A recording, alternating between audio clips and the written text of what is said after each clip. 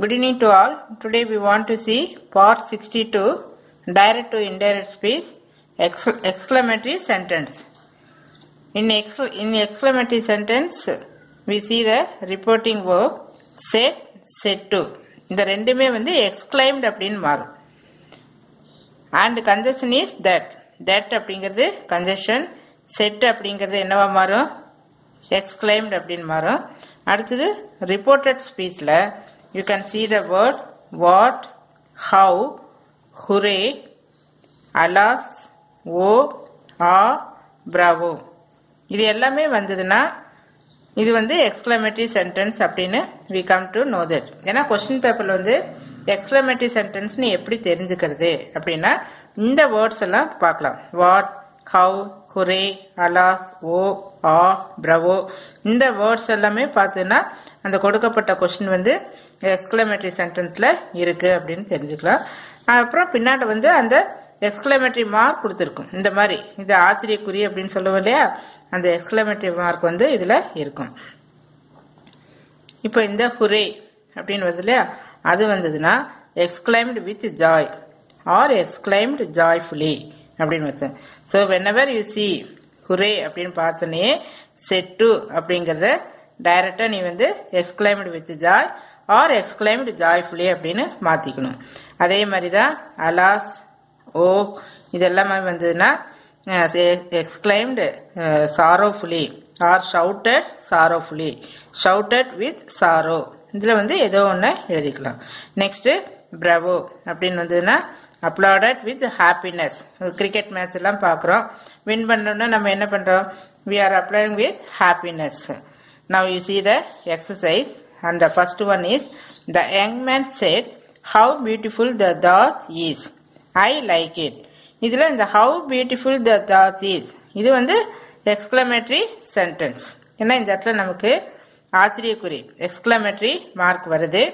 அப்போ இதுல வரக்கூடிய இந்த ஹவு அப்படிங்கறத நம்ம எடுத்துடணும். த தாஸ் ஈஸ் எப்பவுமே எக்ஸ்கிளமேட்டரி சென்டென்ஸ்ல அந்த வேர்ப் வந்து இந்த ஆசிரியக்குறி இருக்குல்லையே எக்ஸ்கிளமேட்டரி மார்க் அதுக்கு பக்கத்துல வரும். அதை பார்த்தோன்னே கொஸ்டின்ல நம்ம தெரிஞ்சுக்கலாம். ஸோ இதை அப்படியே இந்த இடத்துல நம்ம டேர்ன் பண்ணி எழுதணும். இதனுடைய கன்ஜெஷன் வந்து தட் ஏற்கனவே இங்க ரூல்ஸ்ல வந்து கொடுத்துருக்கு. இதனுடைய எக்ஸ்கிளமேட்டரி சென்டென்ஸினுடைய கன்ஜெஷன் வந்து தட் இங்க பிகினிங்லேயே இந்த இடத்துல சொல்லியிருக்கோம். Now using that you are writing the young man said you write the answer for this the young man said that இந்த ஹவுங்கிறத எடுத்துட்டு இந்த ரவுண்ட் பண்ணியிருக்கிறோம் இல்லையா? இதை வந்து ஃபர்ஸ்ட் எழுதிக்கணும். த தாட் ஈஸ் என்னவா மாறும்? வாஸ் த தாட் வாஸ் இந்த இடத்துல நம்ம கொஞ்சம் ஸ்ட்ரெஸ் பண்ணி சொல்றோம். பியூட்டிஃபுல் ரொம்ப பியூட்டிஃபுல்லா இருக்கு. அப்ப இந்த இடத்துல நம்ம வெரி வெரி பியூட்டிஃபுல் இப்போ ஒரு தடவை முழுக்க படிச்சுப்பாரு I the young man said that the Taj was very beautiful இப்போ அடுத்தது ஒன் மோர் சென்டென்ஸ் இங்கே இருக்கு. ஐ லைக் இட் ஐ லைக்ங்கிறது ஜஸ்ட் சிம்பிள் ஸ்டேட்மெண்ட் இது வந்து எக்ஸ்கிளமேட்டரி மார்க் கிடையாது. இது வந்து சிம்பிள் ஸ்டேட்மெண்ட் அதுக்கு நமக்கு கண்டினியூ பண்ணுறதுக்காக and added and continued that that வந்து மறக்காமல் எழுதணும். இது வந்து கன்ஜஷனில் வரக்கூடியது. இதுக்கும் தட்டு தான். Then for simple statement also that so and added that I யாரை குறிக்குது? The young man so you can write he like வந்து ப்ரெசன்டென்ஸ் ஸோ ப்ரெசன்ட் என்னவா மாறும்? Past tense so you can write liked then it and added that he liked it. You come to the second one. The old man said, What a nice park it is. It is pleasant. இப்போ இங்கே exclamatory mark வருது அதுக்கு பக்கத்தில் verb வருது so you come to know that given sentence is exclamatory sentence இந்த what என்ன பண்ணணும் எடுத்துடணும் so you are writing the old man said என்னுடைய கன்ஜெஷன் வந்து மறக்காம தட் அப்படின்னு எழுதணும் இதை அப்படியே இங்கே முன்னாட்ட கொண்டு வந்துடணும். இந்த இட்டீஸ்னு இருக்கு இல்லையா?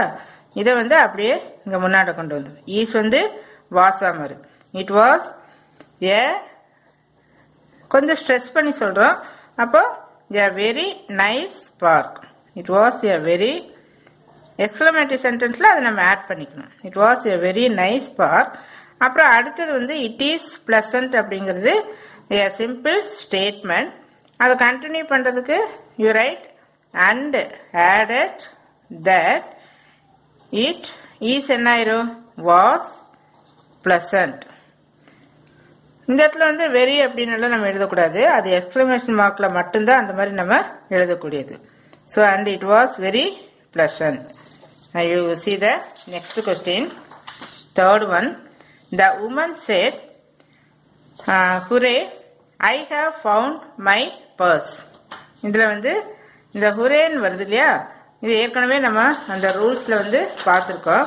ஹுரே அப்படின்னு வந்ததுன்னா you have to write exclaimed with joy you are writing exclaimed with joy or joyfully so write it said என்னவா மாறிடும்?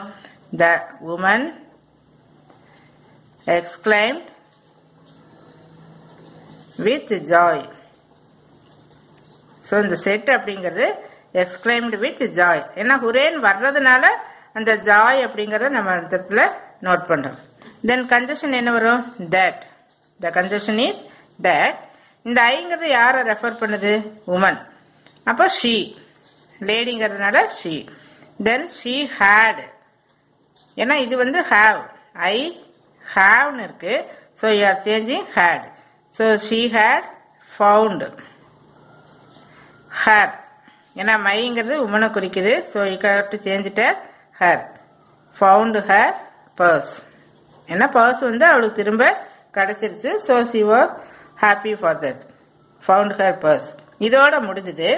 ஐ am லக்கிங்கிறது simple statement so you write and added and added conjunction கண்டிப்பாக என்ன எழுதணும்? தட் இங்கேயும் conjunction வந்து that then ஐங்கிறது என்ன வரும் she ஆம்ங்கிறது was then lucky.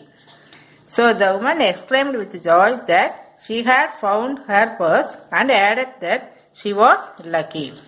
Now see the fourth question. The boy said, Alas, he is no more. I have lost him. அவர் வந்து இறந்துட்டாரு நான் அதுக்கு வந்து அவரை வந்து இழந்துட்டேன் அப்படின்னு சொல்லி சொல்றது ஸோ இந்த இடத்துல what you write the boy said அப்படிங்கிறது இந்த இந்த இடத்துல ரூல்ஸ்ல வந்து ஏற்கனவே பார்த்துருக்குறோம். அது வந்து கொஞ்சம் சாரஃபுல்லாக வர்றதுனால அலாஸ் ஓ இதெல்லாம் வந்ததுனாவே shouted with sorrow or exclaimed with sorrow you are writing the boy shouted with sorrow கண்டிப்பாக மறக்காமல் நம்ம போட வேண்டியது கன்ஜெஷன் வந்து தட் இந்த இடத்துல வந்து தட்டுன்னு போடணும். இது அந்த அலாஸ் அப்படிங்கிறத எடுத்துடணும். தென் ஹி வாஸ் ஈஸ் என்னவா மாறும்?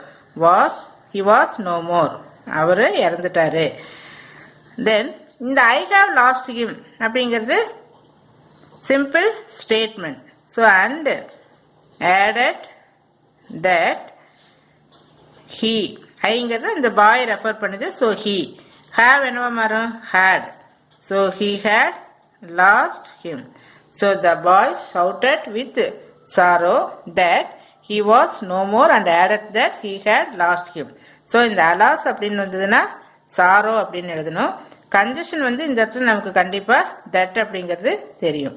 Now come to the fifth question the old man said alas I have lost my spectacles I need it என்னுடைய ஸ்பெக்டகிள்ஸ் எங்கேயோ விட்டுட்டேன்.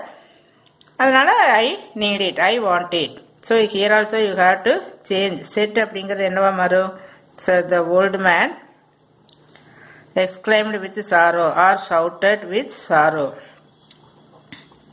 with sorrow that conjunction வந்து தட் இந்த அலாஸ் அப்படிங்கிறத எடுத்துடணும். இதில் கன்ஜெஷன் வந்து நம்ம தட்டுன்னு போடணும். ஐயை யார் ரெஃபர் பண்ணுது? Old man so you can write he have என்னவா மாறிடும்? Had have is change as had so he had lost my வந்து ஹிஸ் என்னுடைய அப்படிங்கிறப்ப அவனுடைய.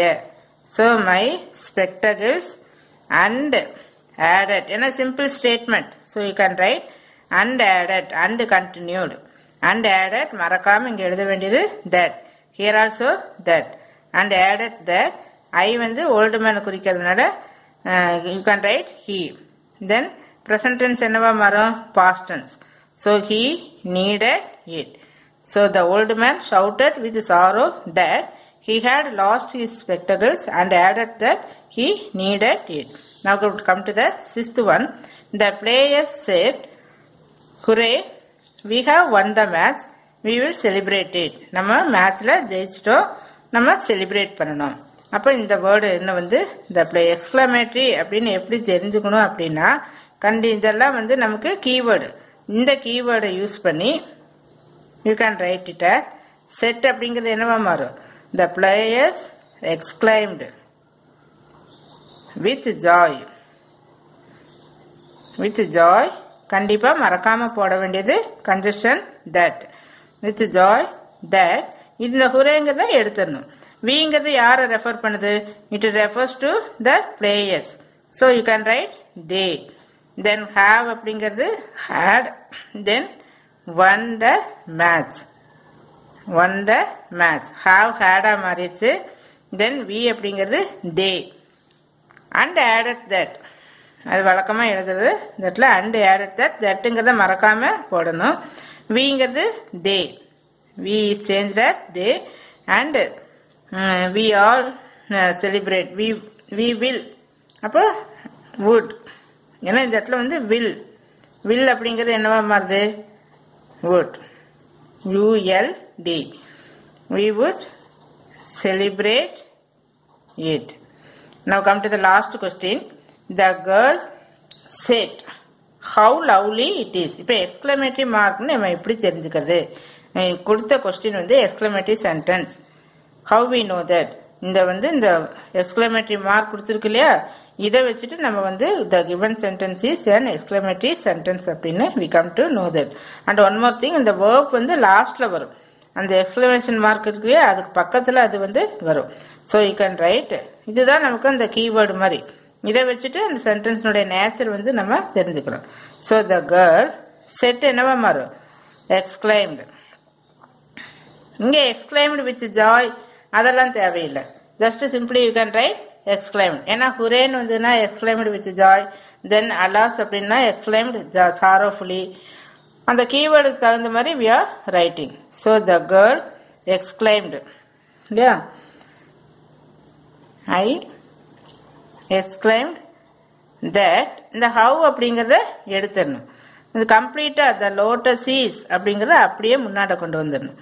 த லோட்டஸ் அந்த ரூல்ஸ் அப்படியே ஃபாலோ பண்ணினோம்னா கரெக்டாக வந்துடும் so the girl exclaimed that the lotus was இங்கே நம்ம என்ன எழுதின்னு சொன்னால் கொஞ்சம் ஸ்ட்ரெஸ் பண்ணி சொல்கிறோம் so you can write very beautiful beautiful அப்படிங்கறத very beautiful lovely very lovely so very lovely and added that ஏன்னா நெக்ஸ்ட் சென்டென்ஸ் வந்துட்டோம். ஸோ அண்ட் ஆடட் தட் மறக்காம தட் போடணும். இங்கேயும் கன்ஜெஷன் வந்து தட் இருக்கணும். ஸோ அண்ட் ஆடட் தட் கேர்ள்னு வரப்போ she லவ்ங்கிறது present tense so you got to write past tense so and she love it thank you